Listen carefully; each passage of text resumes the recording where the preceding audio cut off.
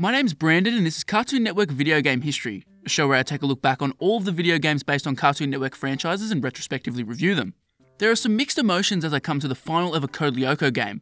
On one hand, I'm excited to be finally done with this series, but on the other hand, I'm dreading having to review yet another Code Lyoko game. This week, we jump back to the Nintendo DS after a brief stop on consoles for Code Lyoko Quest for Infinity. Code Lyoko Fall of Xana was exclusive to the Nintendo DS and released to audiences in June of 2008. They really milked this franchise because this was the third Code Lyoko game released within 13 months. Neko Entertainment returned for this follow up after taking the development reins for Quest for Infinity. That game was clearly heavily reliant on the style set by DC Studios in the first game, so this is their first real chance to put their mark on the series. As all the Code Lyoko games were, this release was published by the Game Factory, where fun is allegedly made. As you could predict if you've seen my other two videos on the Code Lyoko games, Fall of Xana was received poorly by critics. It sits at a 51 on Metacritic, making it the worst game in the trilogy. IGN gave it a 5.5 and GameSpot gave it a 4.5. So, let's get this over and done with. It's time to virtualize one last time to review Code Lyoko Fall of Xana.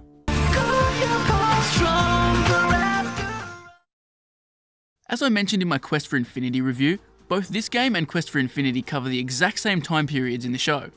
They both cover the main story beats of Season 4, but the big difference is that since all of Season 4 had been released, now the developers were able to provide a more cohesive adaptation. Quite literally, the only major story difference I noticed between the two games is that Fall of Xana has the Colossus present as a boss character. Outside of that, it seemed like the stories for both games were identical. Maybe if you're a die-hard Code Lyoko fan, you'd be able to spot the differences more easily and appreciate the story, but to a relative outsider, it all seemed the same. You're still trying to free William, still going through the same environments, and still doing the same repetitive bullshit. Heck, you even face off against multiple bosses that you already faced off against in Quest for Infinity. There is honestly no reason why this game needed to exist as a standalone thing. You could have just ported Quest for Infinity to the DS and nobody would have batted an eyelid for a second. I have no idea how well these games sold, but I can't see how it would have made financial sense to make a whole new game from scratch.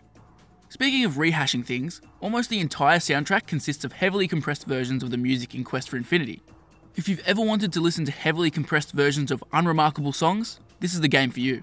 Another thing brought over from Quest for Infinity is the unorthodox main menu setup. This time you at least have a save select screen before being thrust into it, but once you're in, it's essentially the same. You can scroll through a few different Kadic locations, chat to characters, and then launch into a new mission. How well does the game play though? That's the big question.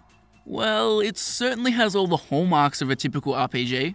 Leveling up, stats, wild encounters, healing and battle items, basically anything you'd expect to see in an RPG, you'll find here. Something that surprised me is that this game is entirely played through the touchscreen. Before playing, I'd read that Neko wanted to take advantage of the touchscreen more than Get Ready to Virtualize did, and I guess they achieved that here. You move around the overworld by dragging the stylus around, and like pretty much every RPG to grace a DS, all the battling and menus can be done via the touchscreen. This honestly works rather well and allows for quick movement between menus and quick selection of moves during battles. Speaking of, the battle mechanics and gameplay are what make or break a game like this. Unfortunately, despite me being initially intrigued by a Code Lyoko RPG, it completely let me down. Fall of Xana goes for real-time battles here, and it fails spectacularly. For the majority of the game, you'll have Odd, Ulrich, Aelita, and Yumi in your party, once a battle starts, for every character in your party, you'll be able to either select a regular attack, a more powerful attack that drains an MP meter, a super move that uses a separate meter, or an item. After making any of your moves, your character will then go into a cooldown phase where they're unable to do anything. This cooldown phase is probably my biggest issue with the battles. Even with four different characters, waiting for your next attack is tediously long. If you thought the battles played out slow in Pokemon Diamond and Pearl, you've never played this game. The enemies also have a similar cooldown time too, which adds to the amount of dead air that's in battles. 99% of battles will play out for you using all four of your attacks, your enemies using all of their attacks, and then everybody just standing around doing nothing for 30 seconds. This mightn't be too bad for a shorter game, but for a game that takes like 5 plus hours to beat, it's an absolute slog to get through. The waiting around in battles becomes unbearable when you have less than 4 party members.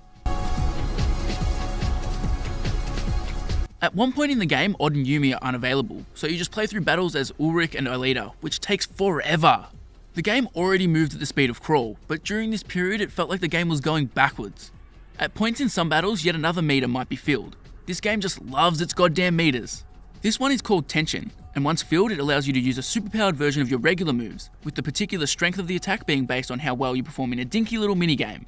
Honestly, I found these tension moves annoying. If you mess up the minigame, you'll do significantly less damage than your regular attacks, and there's no way to just ignore it and use a non-tension attack once the meter is filled.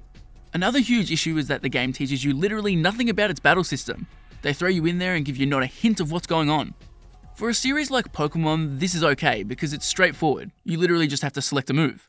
Here it's much more complicated, with an array of different meters and different categories of attacks. Some sort of tutorial would have been nice, because I was about halfway through the game before I figured out what the FP bar did. There are also just a lot of fundamental issues about the battling. Because of the nature of this game's battle style and the fact that you're facing multiple enemies at once 99% of the time, it never makes any sense to use anything other than moves that damage multiple enemies at once. Considering you rarely face off against one enemy, you end up spamming the exact same attacks over and over again. Similarly, I'm still unaware as to if certain enemies are weak or strong against different types of attacks. At times, certain attacks seem to be weak against various enemies, but there was literally no in-game indication to whether this was true or not. This again resulted in me just spamming the same overall strongest attacks. As is the case in every RPG ever, after a battle is completed, you gain experience and an item or three. Despite gaining experience, it never actually feels like your characters are growing stronger. Not only does every character in your party grow at virtually the same pace, but the enemies scale so well with your party that you never get that awesome feeling of increased power. It'll take you the same amount of time to defeat enemies the entire way through the campaign, which just feels wrong and makes the leveling up pointless. The only aspect of the gameplay that gives your characters a chance to feel stronger are the special plug-in item pickups. There are various items scattered throughout the world that will bump up things like the attack and defense of a character or make them slowly recharge the meter that allows them to use special moves. These items are few and far between, and while they provide a little boost, it's nothing significant. As I mentioned earlier when talking about various parts of Quest for Infinity that this game lifted, there are a few boss battles scattered throughout. These are laughably easy, and in many cases will be over quicker than a regular battle. These battles are always 4 on 1, meaning you have the distinct advantage. You would have thought they'd beef up the boss monster's stats, but they really didn't.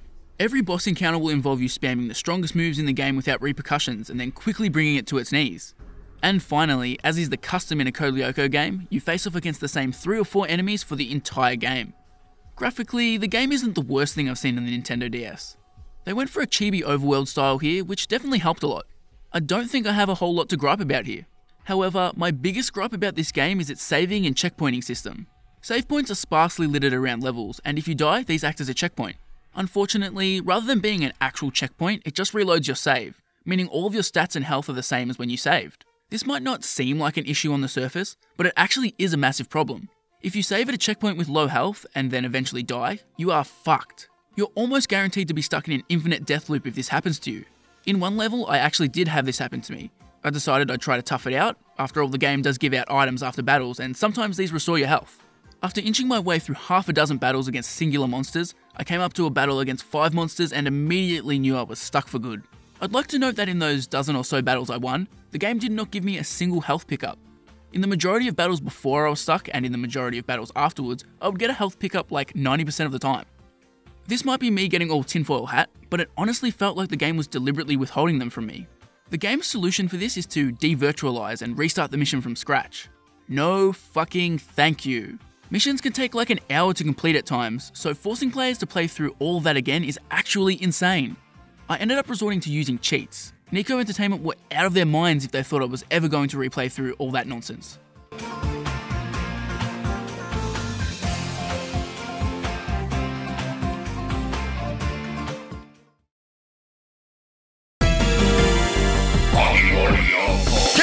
De Código.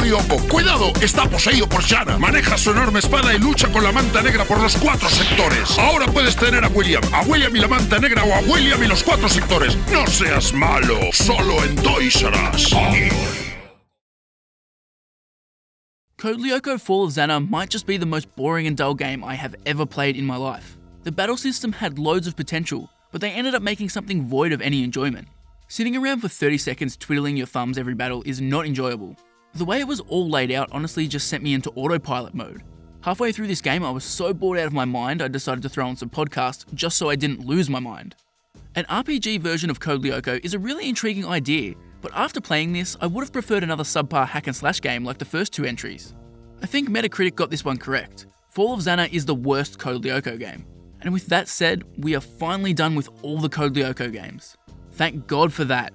Not only were they awful to play through, but the Code Lyoko reviews have the lowest views by far since I returned, proving that nobody gives a fuck about this show. Next week, we'll be back to our regularly scheduled programming, this time reviewing Ben 10 Alien Force. I hope you all like Ben 10 because four of the next five reviews feature that little alien bastard.